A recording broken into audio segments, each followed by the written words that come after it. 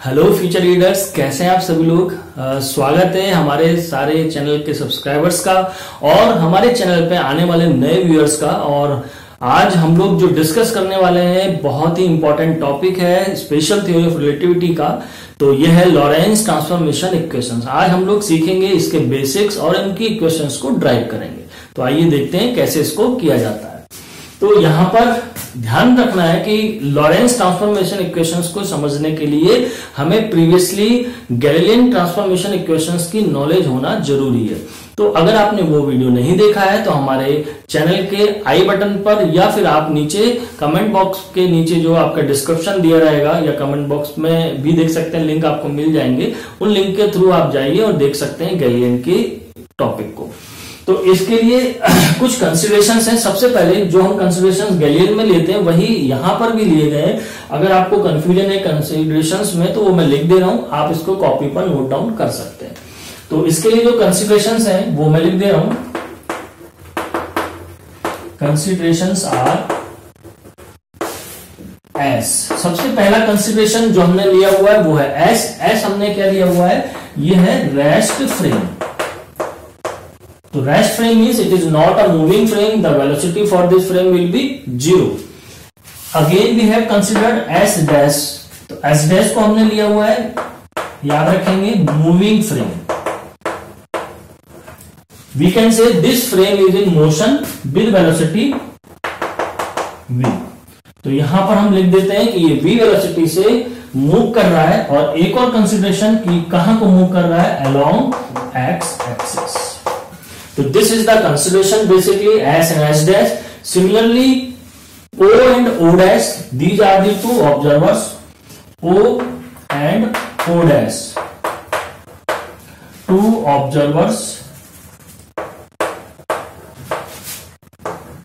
तो ये जो दो ऑब्जर्वर है respectively we can say O is S and O dash for S dash reference frame ठीक है? तो ये हमारे कंसिडरेशन हैं।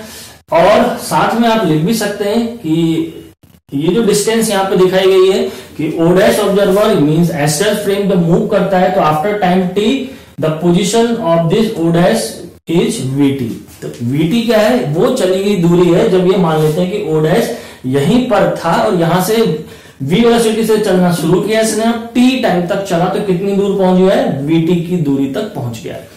ये सारी बातें हम डिटेल में गैलियन की थ्योरी में डिस्कस कर चुके हैं और यहाँ से हमने गैलियन की कुछ इक्वेशंस निकाली थी। लेकिन गैलियन की थ्योरी क्योंकि फेल हो गई थी, उसमें लाइट की स्पीड को कांस्टेंट नहीं माना गया था, बट जब माइकलसन मोडले का एक्सपेरिमेंट हुआ, उसके रिज़ल्ट आए तो वहाँ से आइंस्टीन ने दो पॉस्टुलेट्स दिए थे, जिसको हम ऑलरेडी डिस्कस भी कर चुके हैं। इन पॉस्टुलेट के बिहाफ पर ही, इन पॉस्टुलेट को सही माना गया और लॉरेन ने इसी पॉस्टुलेट को फॉलो करते हुए ये चार नई इक्वेशंस दी थी जो आज हम लोग ड्राइव करने जा रहे हैं। तो हमेशा याद रखिएगा, जो एग्ज़ाम में गलती मोस्ट ऑफ़ द स्टूडेंट जब हम लोग कॉपी चेक करते हैं एग्ज़ाम की तो देखते हैं कि बच्चे सबसे ज़्यादा मिस्टेक जो करते हैं कि उसमें दो इक्वेशंस नहीं लिखते हैं वाई डैश और जेड डैश की। तो केवल एक्स डैश और टी डैश की इक्वेशंस को आप निकाल के छोड़ के आ जाते हैं। तो ये पूरा ध्यान देना है आपको कि चार इक्वेशंस हैं ट्रांसफॉर्मेशन की वो चारों इक्वेशंस आपको लिखनी होंगी तो कैसे इनको निकालेंगे यही हम लोग आज देख रहे हैं डिटेल में तो इसके लिए एक स्पेशल कंसलेशन और भी है जो मैंने यहाँ लिख भी दिया है आप देख सकते हैं according to Lorentz transformation equation because these are the new transformation equations in comparison to Galilean so he said the measurement in x direction, made in frame s must be linearly proportional to that made in s dash frame. जो Lorentz scientist थे, उन्होंने ये कहा, उनका सोचने का तरीका थोड़ा सा अलग था, जब उन्होंने कहा कि अगर लाइट कांस्टेंट रहनी है, या हम कहें कि आइंस्टीन के पोस्टलेट को उन्होंने जब सही माना तो उन्होंने कहा कि गैलियन की थ्योरी में थोड़ा सा बदलाव आना चाहिए। वो बदलाव उन्होंने कहा कि ये है कि ठीक है, हम मान लेते हैं कि गैलियन की क्वेश्चन सही है गैलियन का डेरिवेशन या कंसिडरेशन बिल्कुल सही है बट उसमें एक चेंज होना चाहिए कि जो ट्रांसफॉर्मेशन होगा, वो डायरेक्टली प्रोपोर्शनल की जगह, वो सॉरी अगर हम कहें कि डायरेक्टली इक्वल की जगह, वो होना चाहिए डायरेक्टली प्रोपोर्शनल लिनियरली प्रोपोर्शनलिटी का उन्होंने कंसेप्ट यहाँ पर इंट्रोड्यूस किया था. अब ये लिनियरली जो प्रोपोर्शनल का कंक्लूजन उन्होंने दिया, वो कैसे दिया, इसको हम देख लेते हैं. मिटा देता हूँ उसको. तो आप इसको लिख लें तो ज़्यादा अच्छा रहेगा। कंसिडरेशन को भी अगर आपके पास एग्ज़ाम में टाइम है तो प्लीज़ इसको ज़रूर दिया करें। तो गैलियन की जो इक्वेशन थी, वहीं से ही इसको ड्राइव करते हैं। तो गैलियन ने जो इक्वेशन दी थी, अब हम लिख सकते हैं, जो मैंने अभी यहाँ पे कंसिडरेशन लिखा था, उसी के नीचे में ये कर रहा हूँ। तो x dash equal to Galilean ने कहा था x माइनस वी टी ये बहुत ज़रूरी है ध्यान देना। गैलियन ने कहा था ये क्वेश्चन और अभी हमने कहा कि लॉरेन ने इसी बात को सोचा। कंडीशन अभी भी यही चल रही है। एक्स डैश की वैल्यू देख लीजिए। एक्स डैश की जो वैल्यू है, यहाँ से यहाँ तक की, ये क्या ये क्या है यहाँ पर? पी को इवेंट पॉइंट है। इस इवेंट पॉइंट तक की दूरी एक्स है। अगर मैं एक्स में से इतनी डिस्टेंस को सब्ट्रैक्ट कर दूँ तो वो वैल्यू क्या बचती है? एक्स वही चीज़ यहाँ पर लिखी हुई है। लेकिन इसमें ध्यान क्या देना है? लेवल्स के अकॉर्डिंग उन्होंने कहा कि यहाँ पर एक प्रोपोर्शनलिटी कांस्टेंट भी आना चाहिए। और उन्होंने इस इक्वेशन को थोड़ा सा मॉडिफाई कर दिया और उन्होंने कहा कि ठीक है, ये कंडीशन बिल्कुल सही है, लेकिन उन्होंने कहा कि यहाँ पर एक कांस्टेंट के आना चाहिए। और ये कांस्टेंट उन्होंने क्यों कहा आना चाहिए? क्योंकि उन्होंने ये माना था कि आइंस्टीन के पोस्टुलेट सही है, वो वर्क करेंगे। तो अगर स्पीड स्लो होगी तो उन्होंने कहा के की वैल्यू वन हो जाएगी। अगर लाइट के स्पीड के टर्म्स में, और इक्वेशन वही हो जाएँगी जैसे कि गैलीलियन की थ्योरी कहती है। तो इनकी इक्वेशन देखते हैं कि क्या ये है। तो सिमिलरली एक्स के रेस्पेक्ट में अगर बात करें तो ये इक्वेशन क्या हो जाएगी? के एक्स की जगह हो जाएगी। एक्स डैश ये मैं जो लिख रहा हूँ, इसको भी इनवर्स इक्वेशन कहते हैं। ध्यान दीजिएगा। डैश जहाँ पे लिख रहे हैं, वहाँ पे बहुत ध्यान से कॉपी पर भी आप डैश को लिखिएगा। माइनस वी हो जाएगा प्लस वी और टी की जगह हो जाएगा टी डैश याद रखना है इनवर्स इक्वेशन कैसे निकालते हैं, फिर से बता देता हूँ। जहाँ डैश नहीं है, वहाँ डैश लगा देते हैं, जहाँ है, वहाँ हटा देते हैं। माइनस का वी हमेशा वी माइनस में लिया जाता है तो अगर पहले से सिंबल माइनस चल रहा है तो माइनस वी लेने के कारण प्लस वी में ये चेंज हो जाता है। माइनस वी क्यों लेते हैं? क्योंकि माना जाता है कि ये अगर जब ओ डैश ऑब्जर्वर जब जा रहा है इस डायरेक्शन में तो उसको लगेगा कि वो रुका हुआ है, उससे दूर जा रहा है ये वाला ऑब्जर्वर ये फ्रेम तो उसका ये अपीयरेंस नेगेटिव अपीयरेंस होता है, यानी कि उसको लगता है कि जो वी वेलोसिटी डायरेक्शन एक्स था, उसको लगेगा वो माइनस एक्स की तरफ़ जा रहा है फ्रेम एस इस वजह से हम माइनस वी को यहाँ पर लेते हैं, जिस कारण से यहाँ पर लिख दिया है वी अब यहाँ पर दो पोस्टरेट आइंस्टीन के अगर पोस्टरेट आपको नहीं मालूम है तो इस डेरिवेशन को करना थोड़ा सा टफ पड़ता है, क्योंकि बिना आइंस्टीन के पोस्टरेट का यूज़ करे इन डेरिवेशन को नहीं किया जा सकता। तो अगर आपने पुराना वीडियो हमारा ना देखा हो तो प्लीज़ उसको देख लें। और यहाँ पे हेडिंग में लिख देता हूँ कि यूजिंग आइंस्टीन्स फ़र्स्ट पॉस्टुलेट अब पहला पॉस्टुलेट है क्या?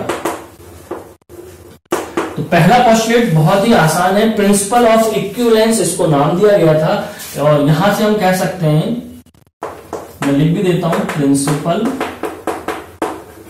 ऑफ़ इक्विवेलेंस जिसके अकॉर्डिंग ये बताया गया था कि जितने भी फिजिक्स के लॉ हैं all physics laws are valid and same for all inertial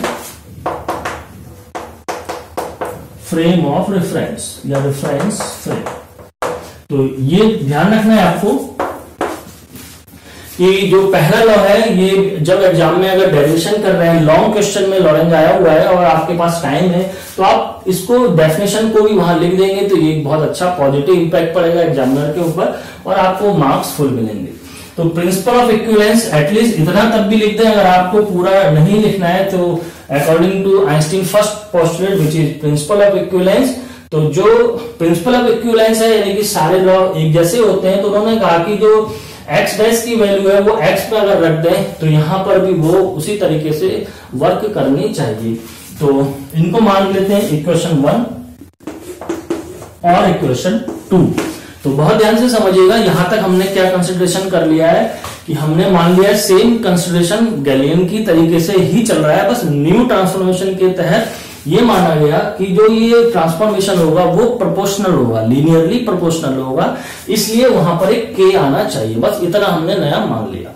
फिर हमने ये कहा कि आइंस्टीन के पहले पॉस्टुलेट का यूज़ करके लॉरेंस ने अब क्या थ्योरी कही उन्होंने कहा कि क्योंकि सारे फिजिक्स के लॉ एक जैसे होते हैं सेम होते हैं तो जो एक्स डैश की वैल्यू है, वो एक्स में सेटिस्फाई करनी चाहिए। तो यहाँ पे तो लिख देते हैं so put value of X dash in equation number two equation two में इक्वेशन वन से वैल्यू पुट कर देते हैं तो ये वैल्यू हो जाएगी X equal to K bracket change कर देते हैं। एक्स डैश की जगह ये पूरी वैल्यू हो जाएगी के एक्स माइनस वी टी और अंदर है ऑलरेडी वी टी डैश तो ये इक्वेशन अब हमारे पास नई इक्वेशन आ गई, ये कहाँ से आई इक्वेशन ये आई है आइंस्टीन के फ़र्स्ट पॉस्टुलेट का यूज़ करके। तो हमने इसकी वैल्यू को इसमें रख दिया।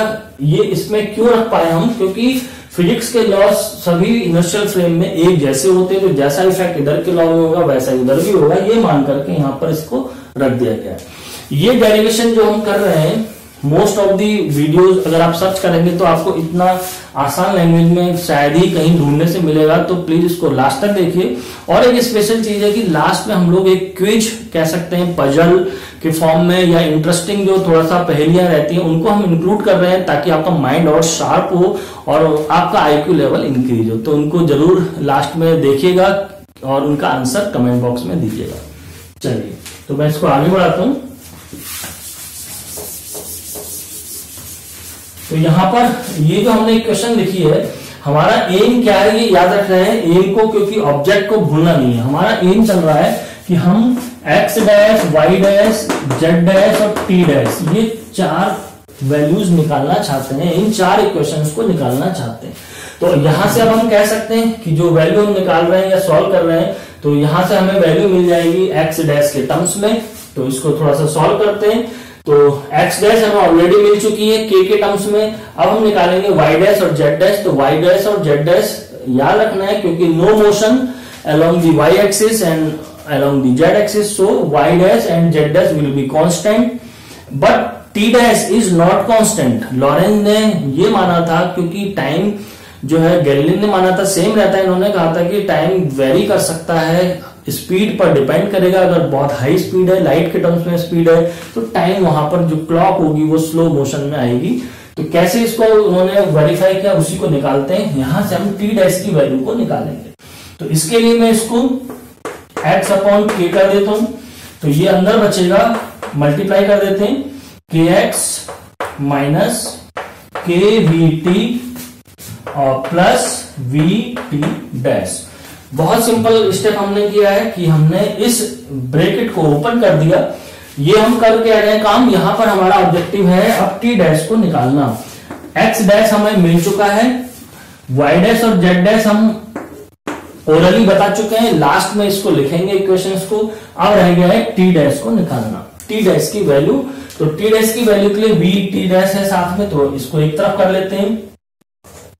तो ये हो जाएगा V T dash equal to X upon K minus K X minus K V T तो ये इक्वेशन हमें मिल गई है। आ, इन इक्वेशन को मैं थोड़ा साइड में लिख देता हूँ ताकि हमें ध्यान रहे कि हम क्या करने जा रहे हैं। तो इक्वेशन वन है हमारे पास जो यहाँ पर है साइड में लिख देता हूँ। X dash equal to K X minus B T इसकी हमें आगे ज़रूरत पड़ने वाली है। और जो इक्वेशन अब हमारे पास निकलेगी, इसको टी डैश की, वो हम यहाँ लिख देंगे।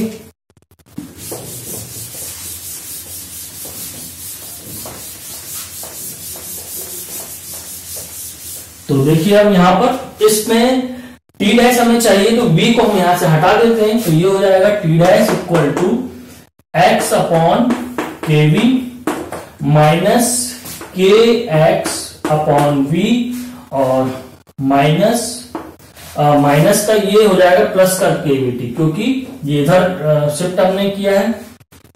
तो V T equal to sorry ये हो जाएगी वैल्यू प्लस का के टी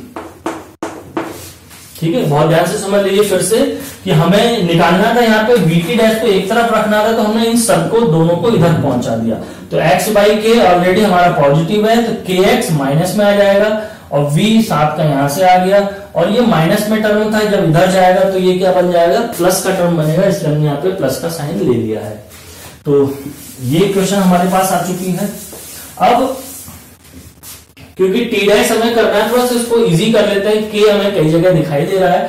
तो के की वैल्यू को हम इस तरीके से लिखते हैं। के टी मैं पहले लिख देता हूँ माइनस के एक्स अपॉन वी अगर मैं कॉमन ले लू, थोड़ा सिंप्लीफाई करने के लिए तो ये पूरा टर्म बन जाएगा वन याद रखना है, और ये पूरा टर्म अब क्या बनेगा? माइनस में आ जाएगा, और वन अपॉन के स्क्वायर बचा। यहाँ से हम देख सकते हैं एक्स अपॉन वी पहले से था के नहीं था, ऊपर है तो के नीचे बन के बन गया के स्क्वायर तो ये हमारे पास जो इक्वेशन आई है, इसको हम कहेंगे इक्वेशन नंबर थ्री दो इक्वेशन हम ऑलरेडी निकाल चुके थे, एक एच डैश की, एक एक्स की, अब ये निकल के आ गई टी डैश की। तो इस इक्वेशन को भी मैं साइड में लिख लेता हूँ, क्योंकि ये हमें आगे यूज़ करनी है।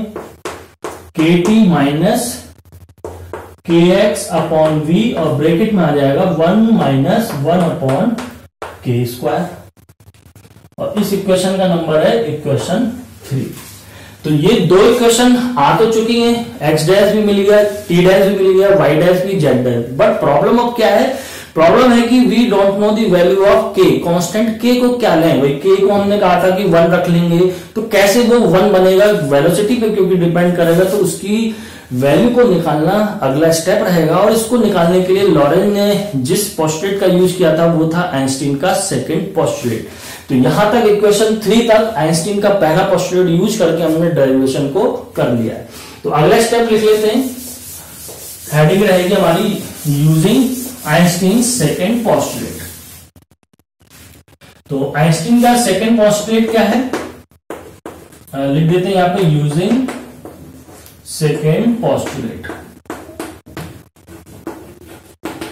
तो ये ध्यान रखना है कि सेकेंड पोस्टुलेट के अकॉर्डिंग इसको बोला गया था सेकेंड पोस्टुलेट को constancy of speed of light दूसरा जो हम ये पोस्टुलेट यूज़ कर रहे हैं, ये क्यों यूज़ कर रहे हैं? हम के की वैल्यू को निकालने के लिए। याद रखना है हमेशा लॉरेंस ट्रांसफॉर्मेशन इक्वेशंस को आप तीन स्टेप में बांट सकते हैं। पहला स्टेप जिसमें हमें गैलियन में के लगाना है, दूसरा स्टेप पोस्टुलेट फ़र्स्ट यूज़ करना है, और तीसरा स्टेप जो हम करने अब जा रहे हैं सेकेंड पोस्टुलेट का यूज़ तो constancy of speed of light के अकॉर्डिंग इन्होंने बताया था कि हर इंडस्ट्रियल फ्रेम से जब भी कोई ऑब्जर्वर ओ या ओडैस कोई भी ऑब्जर्वर होगा, अगर वो सनलाइट की जो स्पीड है उसको मेजर करेगा तो वो हमेशा कांस्टेंट रहेगी।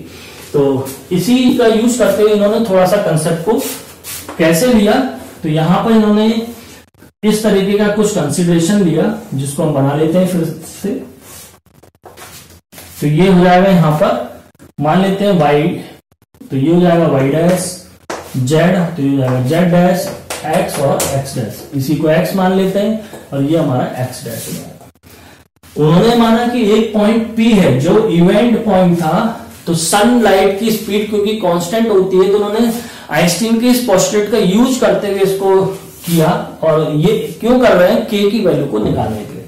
तो उन्होंने कहा कि ओ और ओ जो ऑब्जर्वर है, यहाँ से एक टॉर्च लेजर लाइट कह सकते हैं, ज़्यादा अच्छा रहेगा। एक flash of light torch light कह लीजिए लेजर लाइट कह लीजिए यहाँ से उन्होंने एक लेजर लाइट इंसिडेंट करी इस पॉइंट तक।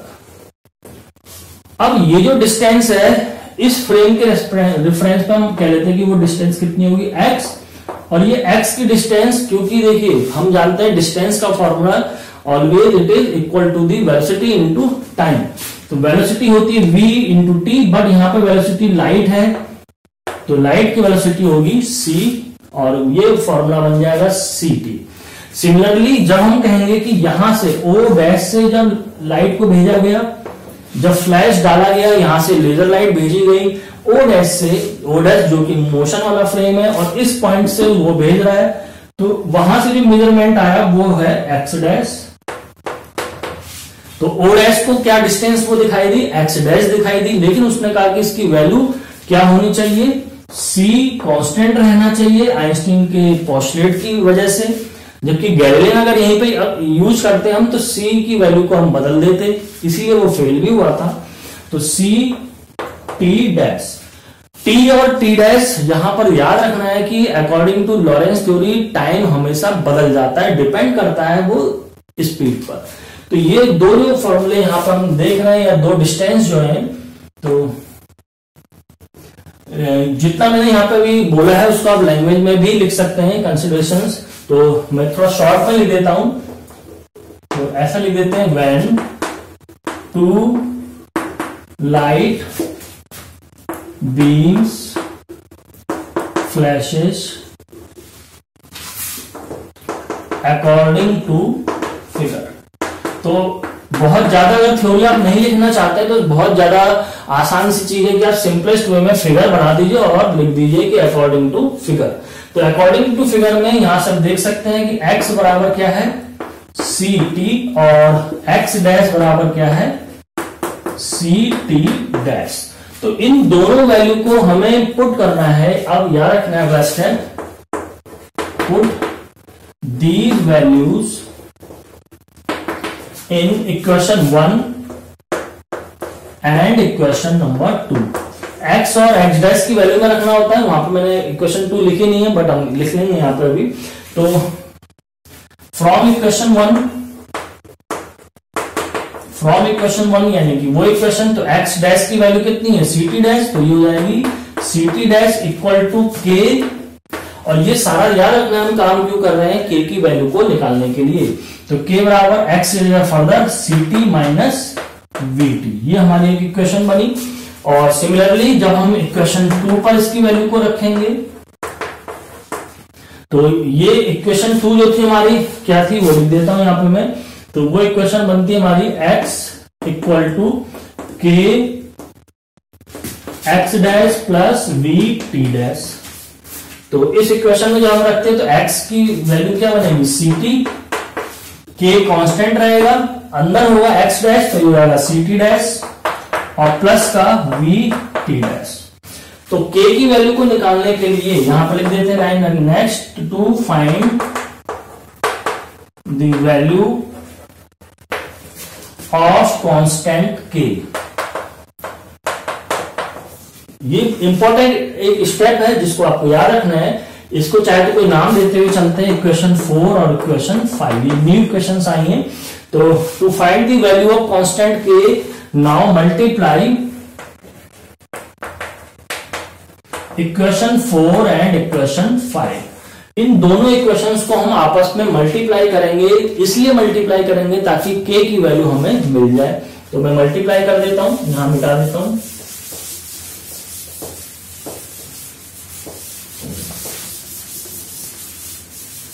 तो हमारा एम जो है, अब के की वैल्यू को निकालना है। जब के की वैल्यू आ जाएगी तो उन वैल्यू को हम इक्वेशन वन और इक्वेशन थ्री में रख देंगे। तो यहाँ पर के की वैल्यू के लिए इसको मल्टीप्लाई करेंगे तो ये बनेगा सी स्क्वायर टी स्क्वायर हो जाएगा। ये टी डैश है, ये टी है तो ये हो जाएगा टी टी डैश सिमिलरली जब इधर आरएचएस को आरएचएस से एलएचएस को एलएचएस से मल्टीप्लाई करेंगे तो के की वैल्यू हो जाएगी के स्क्वायर और इधर देखिए टी टी कॉमन है तो टी अगर कॉमन लेंगे, अंदर बचेगा C minus B similarly T dash T dash common है तो टी डैश जब कॉमन लेंगे तो ये बचेगा सी प्लस बी तो एम चल रहा है के की वैल्यू को निकालना। तो यहाँ से हम देख सकते हैं कि स्टेप हमें मिल रहा है कि ये value T dash T dash को कट कर रही है। टी की वैल्यू टी को कट कर रही है। दोनों के दोनों टर्म कैसे हैं? मल्टीप्लाई के टर्म्स में लिखे हुए इसलिए हम इसको आसानी से R H S L H S से कट कर सकते हैं। तो जो रिमेनिंग चीज़ें लिख देते हैं, क्या बचा? तो के स्क्वायर इक्वल टू क्योंकि के निकालना है तो इसको एक तरफ़ कर दिया तो ये बनेगा सी स्क्वायर अपॉन तो here you have to remember that there is a formula formation a minus b into a plus b a minus b into a plus b always it is c square minus b square के terms में a square minus b square ये formula होता है। यहाँ से हम सी को अगर हम कॉमन ले लें तो इसको लिखा जा सकता है one minus b square upon c square तो सी से सी कैंसिल कर देते हैं। तो फाइनली हमारे पास जो वैल्यू आई है, अब हम इसको लिख लेते हैं। के की वैल्यू क्या बनेगी? तो यहाँ से हम कह सकते हैं, देखो, अगर हम वन अपॉन के स्क्वायर कहें तो ये बन जाती है value one minus v square upon c square ये वैल्यू भी हमें आगे चाहिए यूज़ करने के लिए। जहाँ पर हम देख सकते हैं वन अपॉन के स्क्वायर भी हमें क्वेश्चन थ्री में यूज़ करना है। और के की वैल्यू अगर हमें निकालनी है तो ये हो जाएगा के इक्वल टू इसी इक्वेशन से वन अपॉन अंडरवुड में हो जाएगा टर्म इधर अंडरवुड लेंगे तो स्क्वायर है के ही बचेगा। ये हो जाएगा one minus v square upon c square तो ये दो फॉर्मूले बन गए हमारे, कह सकते हैं। फाइनली जो के की वैल्यू थी, वो हमें मिल गई है। तो इसको नाम दे देते हैं क्वेश्चन नंबर सिक्स तो इक्वेशन थ्री तक निकाल लिया था फोर फाइव यहाँ पे हमने लिखी थी। इक्वेशन सिक्स ये फाइनली आ गई है। बल्कि इसको भी कोई नाम देना चाहो तो इक्वेशन दे देते हैं। चलो इक्वेशन सेवन तो these six and seven values are the values for the equation one and three अब हमारा जो एम था एम हमारा क्या चल रहा है? याद रखना है x dash y dash z dash t dash को निकालना। तो इन इक्वेशंस को निकाल हम चुके थे बट यहाँ पर के क्योंकि एक कांस्टेंट आ रहा था, उस के की वैल्यू को हमें निकालना था। वो भी हमने निकाल ली है के की वैल्यू जो एक कांस्टेंट है, अभी याद रखना है कि ये जो v वेलोसिटी है, ये भी कांस्टेंट है, c वेलोसिटी कांस्टेंट है। तो जब भी अगर हम कहीं पर इनवर्स ट्रांसफॉर्मेशन इक्वेशन लिखेंगे, इससे अगले ही उसमें बताऊँगा आपको कि कैसे लॉरेंस की इनवर्स इक्वेशन लिखते हैं। तो इस v को हम यहाँ पर माइनस वी नहीं लेते हैं। क्यों? क्योंकि ये कैसा है? कॉन्स्टेंट टर्म ये पूरा का पूरा कॉन्स्टेंट है। तो आइए इसको हम वैल्यूज़ को पुट करते हैं और लॉरेंस की चार इक्वेशन को फाइनल कर लेते हैं। तो सबसे पहले हम टी डैश की वैल्यू को अगर हम जब निकालें तो लिखेंगे तो put values from six and seven into one and three six और सेवन की वैल्यूज़ को हम कहा रखते हैं इक्वेशन वन और थ्री में पुट कर देते हैं, जिसकी ज़रूरत जहाँ पर है, वहाँ हम इसको रख देते हैं। तो इक्वेशन वन हो जाएगी तो from equation one x dash will be ये हो जाएगा now x minus v t और के की वैल्यू जब हम पुट करेंगे तो ये वैल्यू हो जाएगी one minus v square upon c square के फॉर्म में।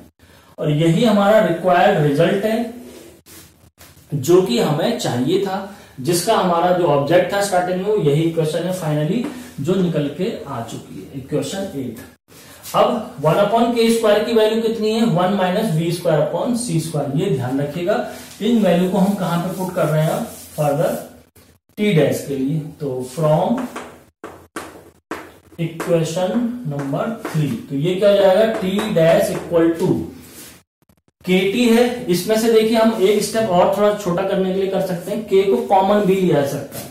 तो कॉमन ले लेता हूँ ताकि और आसान हो जाए ये। के इक्वल टू जाएगा t minus x upon v और ब्रेकेट में है one minus one upon k square अगर आप कॉमन नहीं भी लेंगे तो भी इसको सॉल्व किया सकता है बस थोड़ा स्टेप लेंदी हो जाएगा। तो इजी करने के लिए मैंने कॉमन ले लिया है। आ, पहले भी ले सकते थे इसको कॉमन तो आप वैल्यू पुट करते हैं तो टी डैश बराबर ये तो नीचे आ जाएगी वैल्यू क्योंकि वन अपॉन में है। तो ये बचेगा t minus x upon v और यहाँ पर बहुत ज़्यादा ध्यान देने की ज़रूरत है, क्योंकि यहाँ सबसे ज़्यादा मिस्टेक मैं देखता हूँ कि स्टूडेंट एग्ज़ाम में कर देते हैं। वन माइनस को लिखना भूल जाते हैं। ठीक है? ये बहुत ध्यान से याद रखिएगा।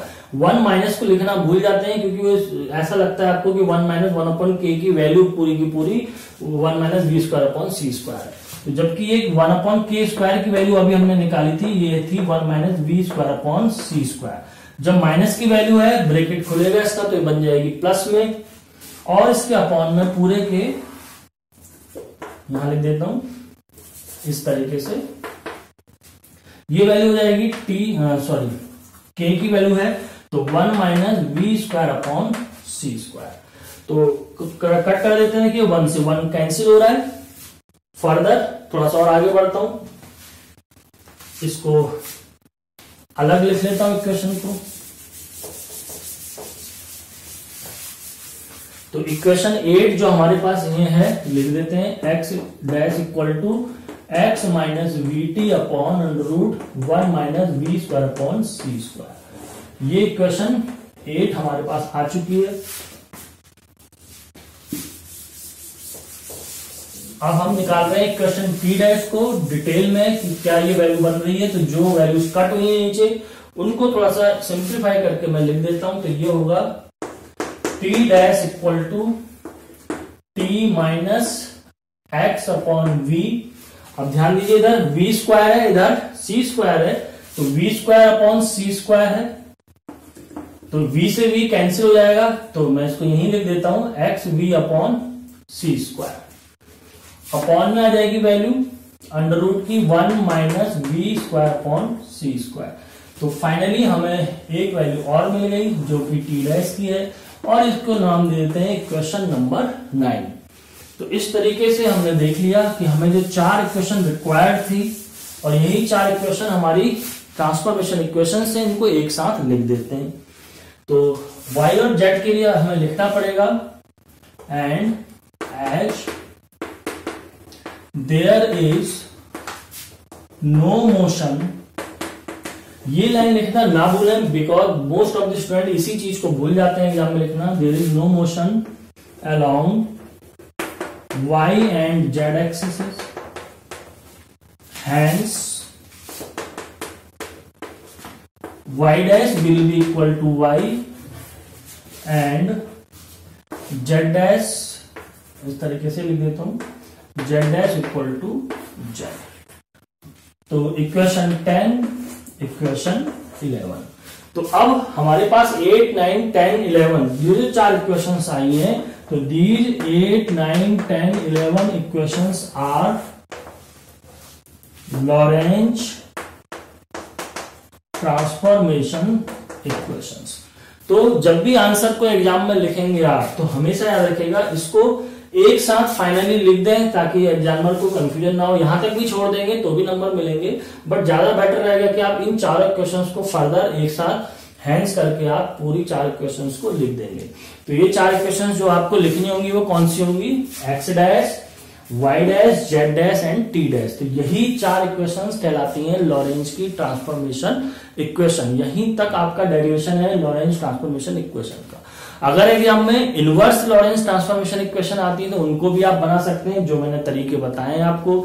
अगर आपको देखना है किस तरीके से उसको लिखते हैं तो हम अपने ही नेक्स्ट वीडियो में इसको डिस्कस कर लेते हैं। इस वीडियो को ज़्यादा लेंदी ना करते यहीं तक रख लेते हैं। और जो लास्ट में क्यूज आपसे पूछी जाने वाली है, जो पजल आपसे मैं पूछने वाला हूँ, उसको ध्यान दीजिए। देखिए और अपने आईक्यू को बढ़ाइए, अपनी मेमोरी को शार्प करिए और इसी तरीके से टेक्निकल फिजिक्स को प्यार देते रहिए। तो अभी तक के लिए इतना ही रखता हूँ। Thank you